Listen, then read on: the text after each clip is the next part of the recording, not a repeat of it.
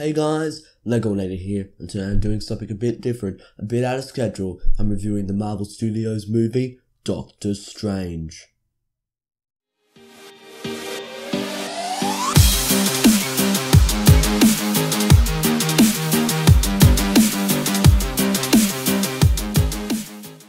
Doctor Strange is directed by Scott Derrickson and stars Benedict Cumberbatch as the titular hero Doctor Strange. It also stars Tilda Swinton as the Ancient One and Chiwetel Ejiofor as Baron Mordo. The movie follows the adventures of Dr. Stephen Strange, a talented but arrogant neurosurgeon who one day gets into a horrible car accident that leaves his hands immobilized. He tries to find a way to fix them, but when modern medicine fails, he goes to an alternate method, leading him to the Ancient One. The movie is based off the Marvel character of the same name, Doctor Strange, and is also set in the wider Marvel Cinematic Universe. It comes out on November 4th, 2016 in the USA, but as I live in Australia, I was able to see it a bit earlier.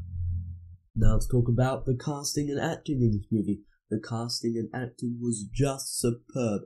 Benedict Cumberbatch is the perfect translation of Doctor Strange from the comics, and all the acting in the movie was on point. I really enjoyed Benedict Cumberbatch's American accent. I didn't think it was going to sit well with me, but I liked it by the end. Also, Tilda Swinton did a really good Ancient performance, and I also liked Chiwetel Ejiofor's Baron Mordo performance. But I'd definitely say a real standout for me is Benedict Wong as Wong. He did a really funny and interesting performance, and I think it was really, really good. Now let's talk about the CGI and special effects in this movie. The CGI was really, really good. The magic effects were really, really awesome. I really don't think they can improve CGI any more than they did in this movie.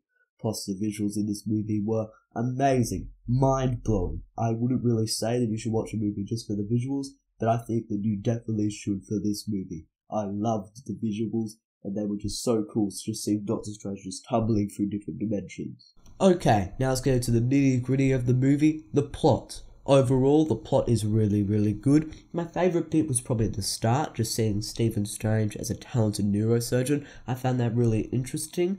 I also liked how over the whole movie, Stephen Strange became less of an asshole into more of a gracious guy. I found that really cool.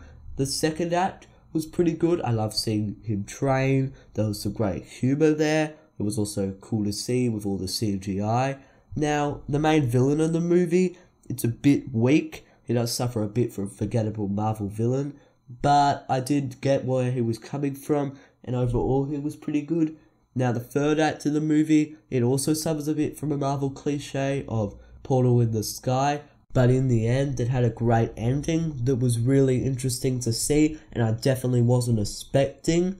So overall, the plot's really good. It's easy to follow. The villain's alright, but the character dynamics make up for it. Like, I really did enjoy the Stephen Strange and Mordo dynamic. That was really cool. Now, my overall opinions on Doctor Strange are really, really good. It has superb action, superb acting, and an easy to follow plot, but still an interesting one. Overall, I'll give the movie an A plus.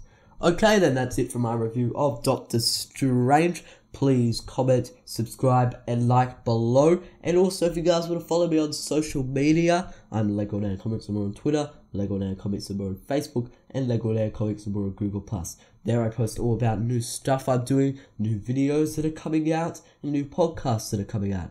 This week's podcast, actually, this Thursday, is going to be we're going to do a more in-depth review of Doctor Strange. We'll go into more detail than what I've outlined in this video.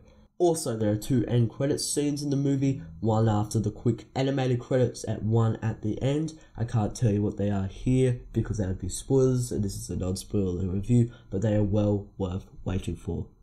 Okay guys, Legoinator out. Bye.